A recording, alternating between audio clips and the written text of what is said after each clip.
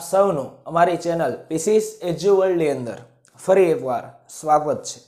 મિત્રો, આપણે જુદી જુદી જે સરકારી પરીક્ષાઓ હોય છે, તેના વિશેની વારંવાર જે ચર્ચા છે, તે કરતા આવ્યા છીએ.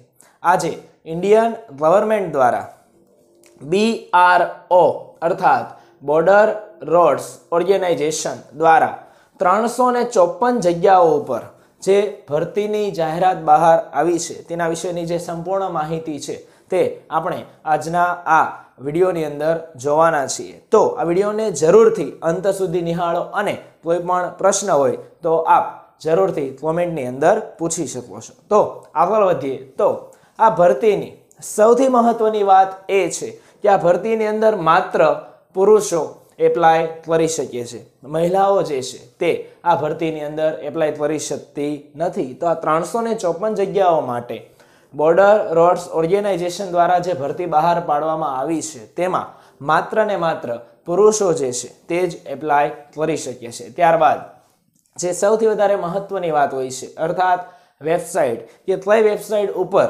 તમે ફોર્મ ભરી શકશો. ત્યારબાદ તમારો જે કોલ લેટર છે, એ તમારે ડાઉનલોડ કરવાનો હોય છે અને તારીખ સુધી તમે આ ફોર્મ ભરી શકશો. તેની સંપૂર્ણ માહિતી તમને W W dot B R O dot GOV dot in BRO dot government dot ઇનની અંદર જઈને તમે આ જે ભરતી છે, તેની માહિતી મેળવી શકો છો. ત્યારબાદ આ ભરતી માટેની જે જુદી જુદી ક્વોલિફિકેશન્સ છે, અર્થાત લાયકાત છે. તેના વિશેની વાત કરીએ તો આપણે સૌ જાણીએ છીએ કે સામાન્ય રીતે આપણા દેશની અંદર કોઈ પણ ભરતી બહાર પડે છે તો જે નેશનાલિટી હોય છે, અર્થાત જે નાગરિકતા હોય છે, તે ભારતીય હોવી જરૂરી છે. ભારત દેશનો વતની જે પણ વ્યક્તિ હોય તે જ આ ભરતીની અંદર પોતાનું નામાંકન પત્ર જે છે તે ભરી શકે છે.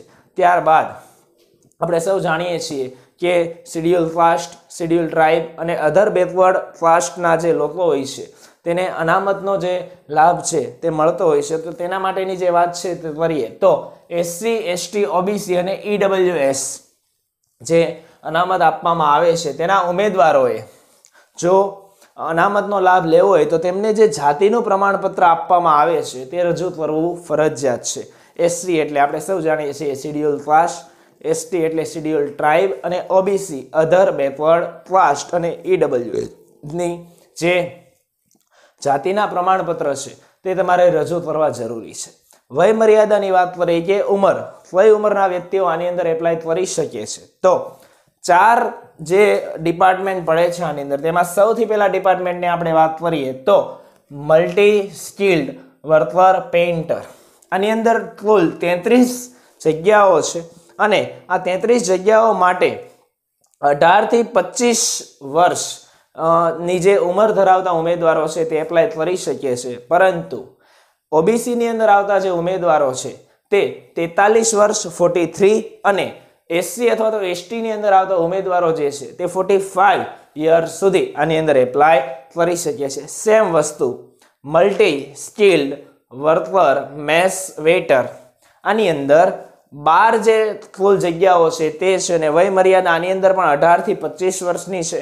અને જનરલ માટે ઓબીસી માટે ફોર્ટી થ્રી યર્સ અને forty five years schedule caste અને શેડ્યુલ ટ્રાઇબના જે ઉમેદવારો છે તેના માટે. ત્યારબાદ, ત્રીજી જે ડિપાર્ટમેન્ટ છે વ્હીકલ મિકેનિક તેની જે વય મર્યાદા છે, તે છે અઢારથી લઈને સત્યાવીસ વર્ષના ઉમેદવારો એપ્લાય કરી શકીએ છે સૌથી વધારે બસો ને ત્રાણું જે વેકેન્સી છે, જે જગ્યાઓ છે તે આની અંદર છે. અને ઓબીસી ના જે ઉમેદવારો છે, તે તેતાલીસ વર્ષ સુધી એપ્લાય કરી શકે છે. અને એસસી અને એસટીની અંદર આવતા ઉમેદવારો ફોર્ટી ફાઈવ યર્સ સુધી એપ્લાય કરી શકે છે. ત્યારબાદ ચોથો જે ડિપાર્ટમેન્ટ પડે છે ડ્રાઈવર મિકેનિકલ ટ્રાન્સપોર્ટ તેની અંદર કુલ સોળ જગ્યાઓ છે, જેમાં અઢારથી સત્યાવીસ વર્ષની જે વયમર્યાદા છે તે અને આપણે વાત થઈ છે એમ કે ઓબીસીના ઉમેદવારો તેતાલીસ વર્ષ અને એસસી, એસટીના ઉમેદવારો પિસ્તાલીસ વર્ષ સુધી આની અંદર એપ્લાય કરી શકે છે. સામાન્ય રીતે ગુજરાત સરકાર દ્વારા કોઈ પણ ભરતી બહાર પાડવામાં આવતી હોય છે, તેની માહિતી આપણને ઓજાસ ઉપરથી અથવા તો માય ગુજરાત જે છે તેમાંથી આપણને મળી રહેતી હોય છે. પરંતુ ભારત સરકાર દ્વારા બહાર પાડવામાં આવેલી વેકેન્સી છે. તો આની સિવાય જે શૈક્ષણિક લાયકાત કે બીજી કેટલી મહત્વની જે વાતો છે હવે આપણે તેના તરફ જઈએ.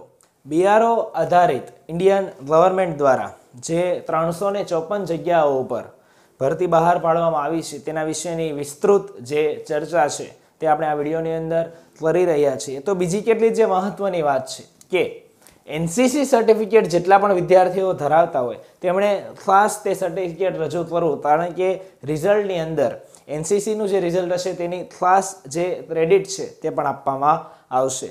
ત્યારબાદ શૈક્ષણિક લાયકાત, તમે બધા જાણો છો કે ધોરણ દસ પાસ હોય તેવી કોઈ પણ વ્યક્તિ આ ભરતીની અંદર જે એપ્લાય છે તે કરી શકે છે. મિત્રો, મારી પર્સનલ ઓપિનિયન પ્રમાણે દસ પાસ દરેક વિદ્યાર્થીએ આ ફોર્મ જરૂરથી ભરવું જોઈએ.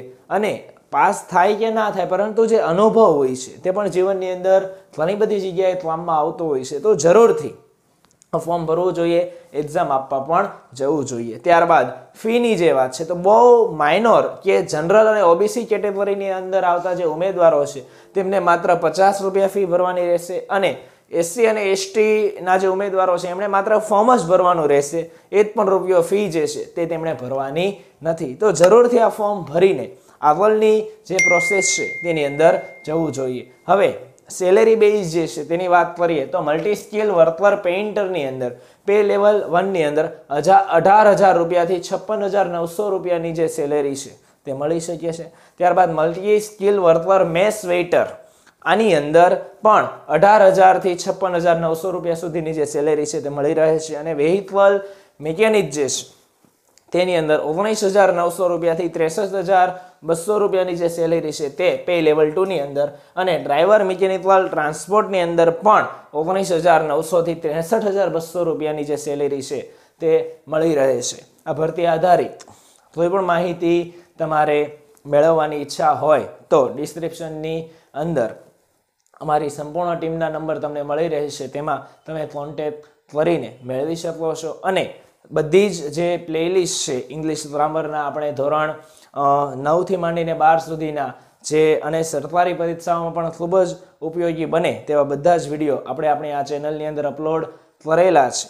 તો એ તમામ તમારે જોવાની ઈચ્છા હોય તો ઉપર આઈ બટન આપેલું હશે, ત્યાં તમને મળી રહેશે. કોઈ પણ પ્રશ્ન હોય તો તમે જરૂરથી પૂછી શકો છો. અહીંયા આપણે સુવિચાર પણ લખ્યો છે કે ડૂ ધ બેસ્ટ, પોતાના જીવનની અંદર સર્વશ્રેષ્ઠ કામ કરો અને બી ધ બેસ્ટ.